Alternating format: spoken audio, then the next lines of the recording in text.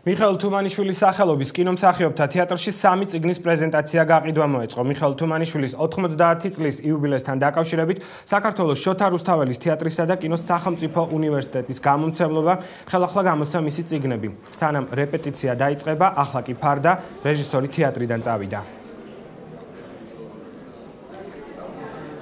ის სამი წიგნი, რომელიც ჩვენ ახლა გამოვეცით, სამივე ადრე არის გამოცემული ორი მათგანი ბატონი მიხეილის სიცოცხლეში ერთი მათგანი უკვე სიცოცხლის მერე ეს არის სახელმძღვანელო ლიტერატურა ყველასთვის ვინც კი მოღვაწეობს თეატრალურ ხელოვნებაში. მისი ღვაწლი და დამსახურება ქართული თეატრის მიმართ იმდენად დიდია, რომ ერთი საღამოს პარკლებში ვერ ჩაეტევა. ამიტომ თეატრმა გადავწყვიტეთ, რომ 2011 წელი გამოგვეცხადებინა თუმანიშვილის წლა. სანამ რეპეტიცია დაიწყება, რეჟისორი თეატრიდან წავიდა და ახლა კი ფარდა.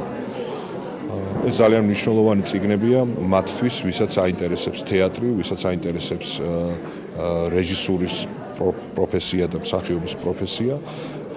და ისე ნებისმიერი მკითხველისთვისაც ძალიან საინტერესო ციგნებია.